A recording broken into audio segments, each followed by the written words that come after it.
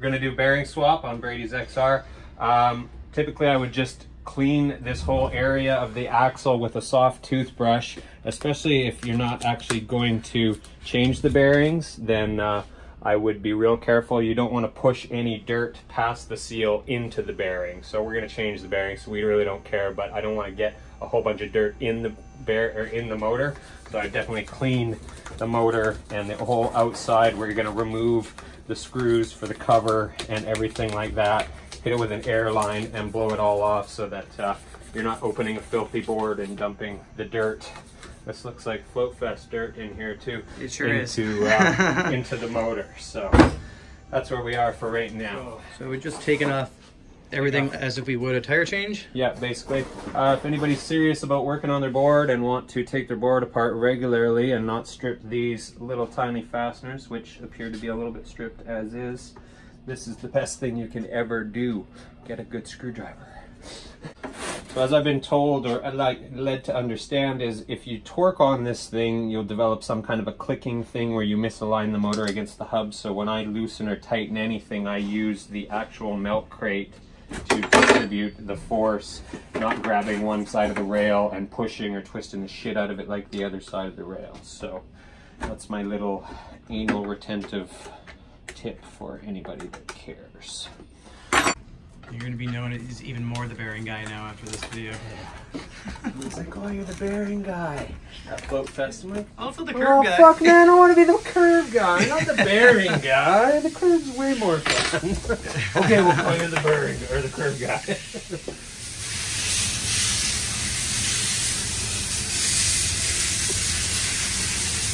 Okay, so what I like to do is hold on to this end here, right? Because we're gonna pull this out. Once we undo the cover, undo this first.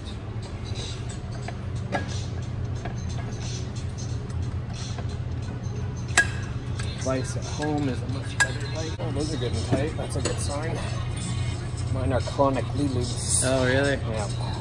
You pretty much only take these off to change the bearings or Um, yeah, this, yeah, exactly. The only reason to undo these is to get at the bearings or open the motor up. Um, I take my board apart probably once every four or five weeks during the summer and uh, re-Loctite those things because they're always backing off. That's where the clunk will come from a lot of times. Oh, okay. If it's not your bearing clunk, it's these are a little bit loose and this is actually sliding back and forth inside here. You know what I mean? Good to know. Just a little Yeah, that bit. makes That's sense. where you shift hard heel side and it goes clunk. Yeah, that's exactly what I'm Yeah. having, but Yeah. And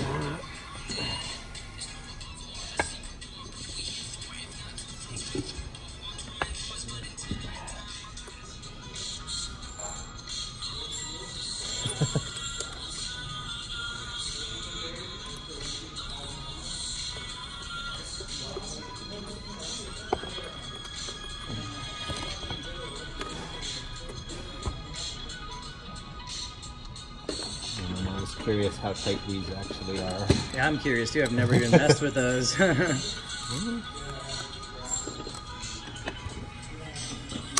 Oh, hey, that was good. That meant the lock Loctite was still functioning there. So like this, and I use this to pin it down. And then if you have a wire um, wheel at home or anything like that, obviously it makes short work of this. yeah, and we're just But- removing this so we can Yeah. add more Loctite on when we put Basically them back clean all the old Loctite out of there so the new Loctite has something to bond to, right? Removal bucket, available anywhere buckets are sold. Coil this up inside here, put it in, holds the bucket or the tire nicely. Floor here. This dowel is the exact size of the axle. Can actually maybe use it to press the bearing out as well. I haven't gone that far. We have other stuff here. But use a nice soft dowel on the wooden axle and swing for the fences here. Now the fun part is trying to get this flipped over and out of there before the magnet pulls the rotor back into the wheel. Crazy. Like that. Like that. That's okay. And then this is the more fun part.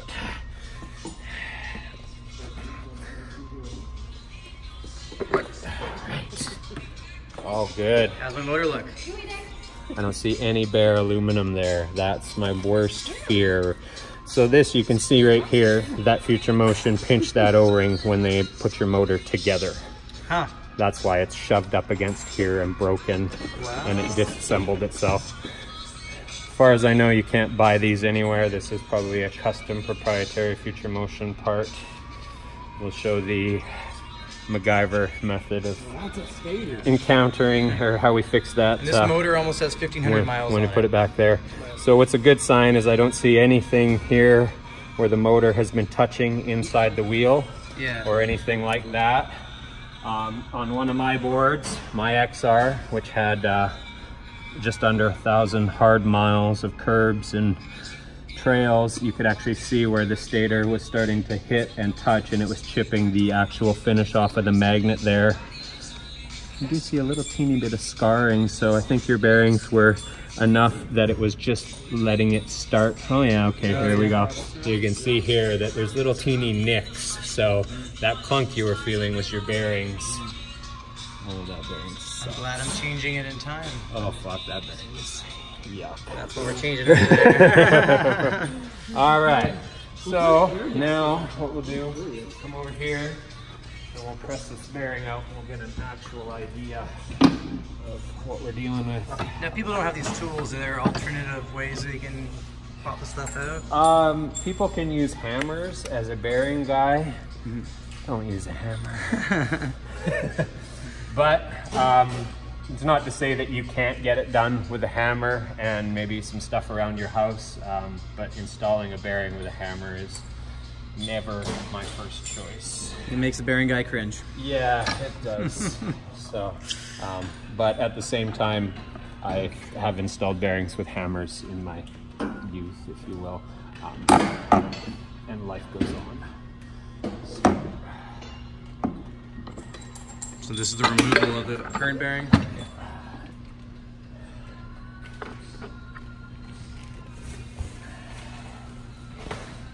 That's bad, eh? Oh God, that's gross. spin. It's gross. Here, you uh, Wow. actually this side off. You're just putting that on to hold it. Yeah, just to um, Oh, I see. yeah, just so we can hold it in the vise, right?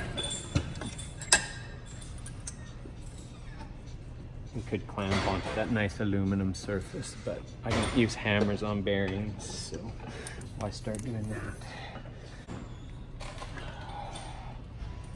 I was so paranoid just about picking it up. Like, don't fucking drop it. Your smile will quickly evaporate if this hits the fucking floor. I don't know. I thought he knew what the fuck he was doing.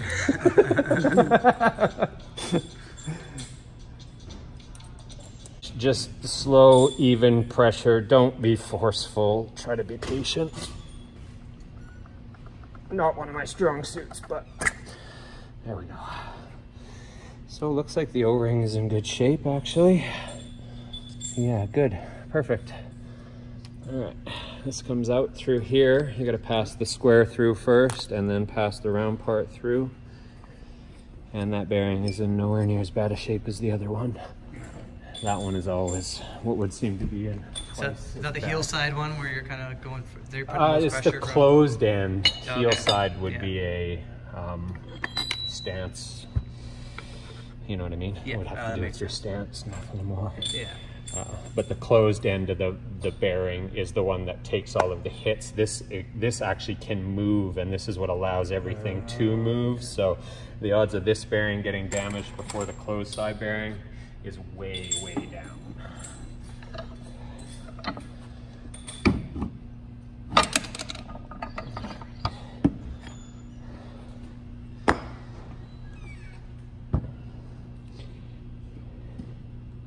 Yeah, that one's bad too. The that's what's called so it's thrust, axial, and radial. So that's thrust load on there, and this inner race is moving back and forth. You can't see it in the video, but Yeah, I can I feel can it with my fingers, and it's it's gross. So So the next thing to do is have a look in here and notice that there's a lot of dirt in here. This is what we were trying to clean out of here with the toothbrush and everything so that we didn't open that up and dump all the bearing or dirt into there. But regardless, you want to make sure that the bottom of the bearing seat here has no debris in it and will allow the bearing to fully seat evenly. If there's a little bit of anything under there, the bearing is going to sit cockeyed and it's not going to pinch the rotor properly to the specifications that somebody at Future Motion designed.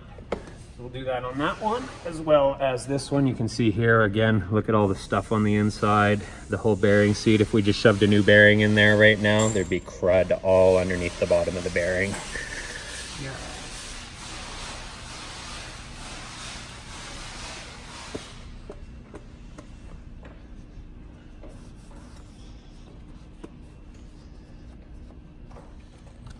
So we're going to put the SKF 61907 2RZ, um, arguably the best bearing money can buy without having something specially made. Uh, NSK is also a good quality bearing and I've seen NSKs in some of the boards from Future Motion uh, as well as I've seen the standard $5 made in China bearing, cheapest you can get.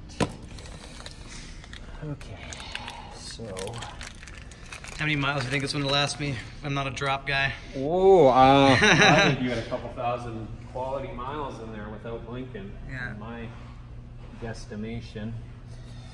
So when you put these in, you want to try to seat it and feel the whole thing kind of fit flat. There's a little chamfer in here. So if you jam it in, you're going to deform the metal. Is it moon bidirectional? Like, can you put it in either way? It bearing has no be- it doesn't matter Okay. no absolutely not so put it in there. You can feel it square up. It sits nice and flat and it wants to be pushed in flat. So Just get one of these trusty things that sit around your house and. Uh, a trusty jigamajig and press on a press. You guys have one of these right beside your food presser in the kitchen don't you so I always give it a little press. And then what you want to do is rotate this a couple times and make sure that everything is nice and even. So again, at home they could use like a rubber mallet or something to kind of softly. The thing is, is you never want to install a bearing by the inner race because if you press on the inner race of the bearing, you're pressing the inner race against the outer race and you're using the actual cage inside the bearing and the construction of the bearing to force the bearing into the hole. So we press the bearing in by the outer race. I press the whole entire bearing as a whole. So that is critical. Do not press by that. We remove the bearing by the inner race because Yeah. we're throwing the bearing away. Gotcha. That That's the sense. only way. But I would really never want to press a bearing out by the inner race and then turn around and press it back in there because these bearings are not designed to handle a thrust load. They're designed to handle a radial load with a minor amount of thrust in there. So, bearing lesson. Now I had one here that was was just like it was fucking perfect. There we go. Yeah, there we go.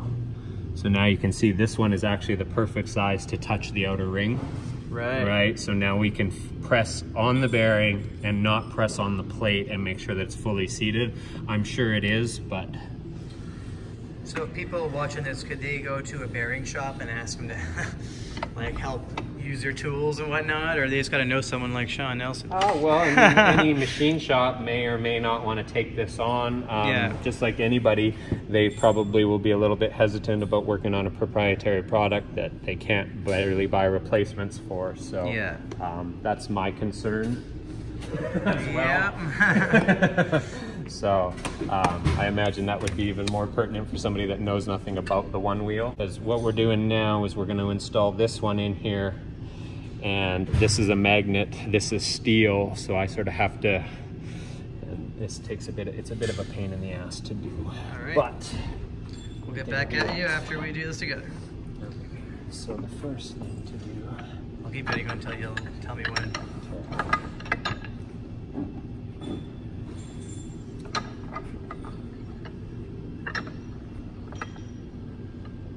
First thing I'm doing is lining up the tire to make sure that the press is actually down in the center of it here. Everything has to be spaced out properly.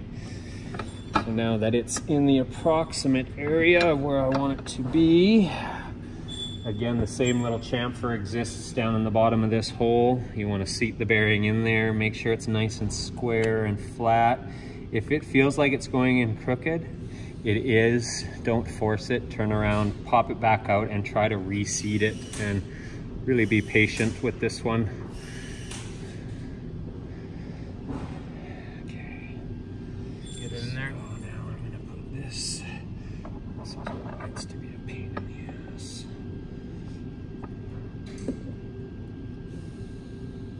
Actually, you might be lucky.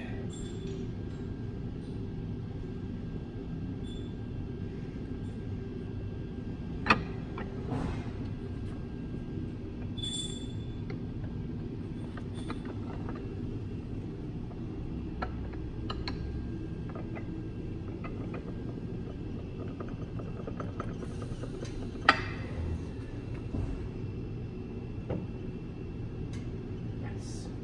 Felt it go in nice and smooth. It sort of slipped down in there. I didn't feel it cockeye or jam, and I didn't need an unreasonable amount of force to get it moving and keep it moving. And once it's started, I like to just rotate it. Make sure that you're kind of evenly applying the force all the way around. If this thing happens to be a little bit misaligned and it's pressing that way, I don't want to shove bearing in the whole way that way and basically exacerbate that Right. for lack of a better term. Um, so I think that feels pretty good. It's nice and seated.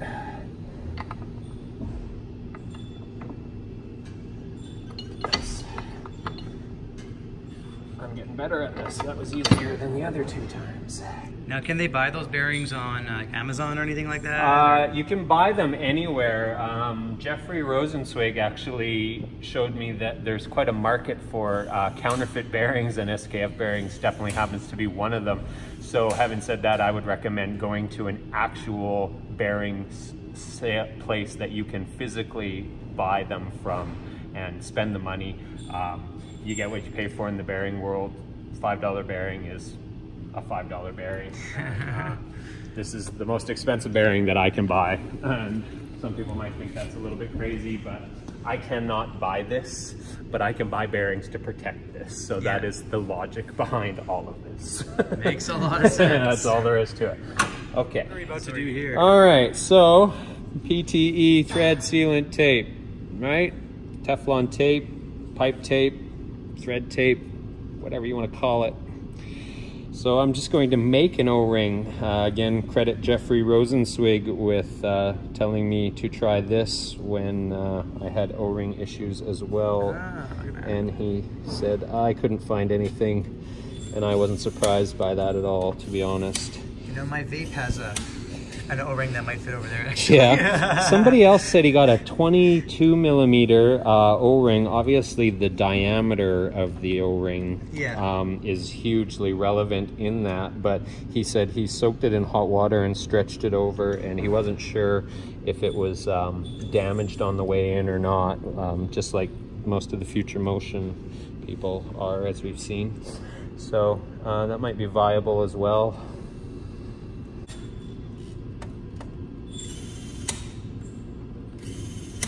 Wrapping around twice, or? Uh, well,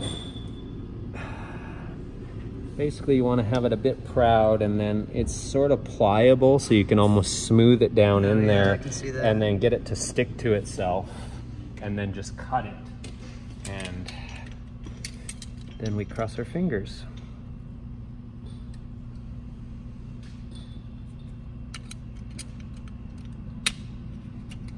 Okay, so now what I'll hope to do is get this to stick to itself and sort of fit down in the groove. You can see how it was quite proud and then when I run my fingers around it, it sort of shoves it down Yeah, it into looks there. in there But now. there's still, if you look on the side, you can still see that the O-ring is proud and that's basically all it is, is just to sit between the inner race of the bearing surface and this and more or less not allow dust to pass through. Yeah. Trying to get this to pass through here without letting the magnetic field of this and this crash the shit out of it Ah. and deflect this and tear the O-ring like Future Motion is proving to be. This is where I, this is where I come in, or No, no, you all just- right.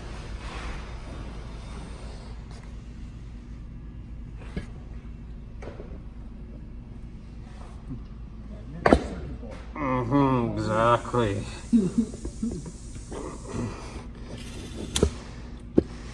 That seemed to go pretty smooth. Not bad, not bad at all. I'm happy with that. So come over here. Uh, you wanted to see the clearance between them. There's hardly any. It's obviously not sitting. Yeah, fresh Loctite on all the cleaned screws. And so what you'll see here is there's a little bit of a gap between the plate and this. So this still needs to come down on the shaft a bit. This shaft seems to be tighter than the other two I've dealt with. Uh, the other two, the bearing just slipped on there. Um, so while it might be a little bit harder to assemble, it might actually be better um, overall in terms of the bearing not as easily spinning on the shaft. You know what I mean? It's almost like it's a bit of a press fit. Yeah. Um, so the reason I mention that is when you put all these in here, you don't want to tighten just one side down and cockeye that whole thing. You want to tighten it in a star pattern and Kind of like to changing a tire. Exactly. you want to bring it down evenly and do not jam it on any one side. So once you got them started,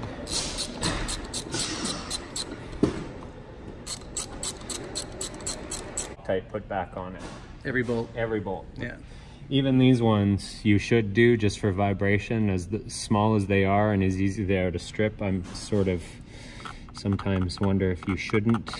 Um, they're not critical in that they don't actually affect the mechanics of the board, but they're so easy to strip that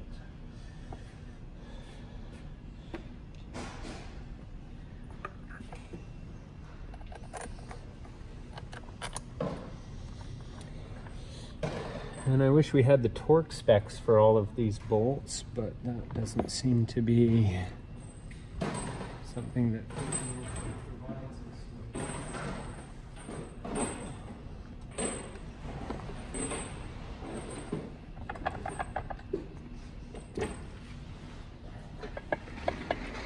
If anybody's ever clamping this, make sure this isn't like this.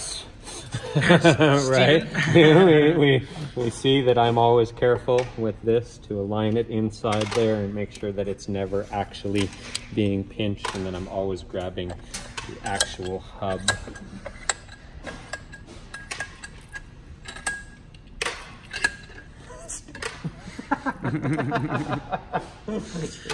Someone will catch that. yeah, he will.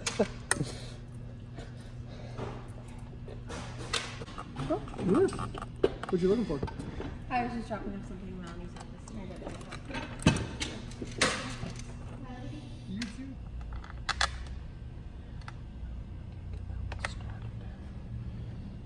All right, so here we are, moment of truth. I'm now behind the camera, and Brady uh, or Bradley, pardon me. It's all good. I'll Let's get see how that figured out one of these days. Oh, it initialized. Oh, yeah. Oh, it works. Uh oh. V1 sensor for you. Uh, No, it's smooth. Oh man, feels like a different board. Wow. That is like very, very noticeable difference. It really is. It, it it's not so much a function of how good those bearings are, but how bad the bearings that were in there were and how used to them you were. It feels smoother than my brand new one I just got. It yeah, like and I would agree. It's definitely a better bearing, and Wow. um, yeah, it really is smooth. When you get up to your uh, higher speeds, you're really going to notice just how smooth it really is.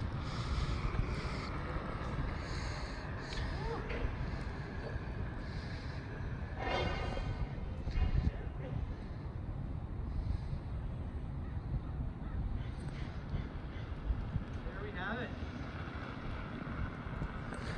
Boom. Thank you. No problem. My pleasure. That is awesome.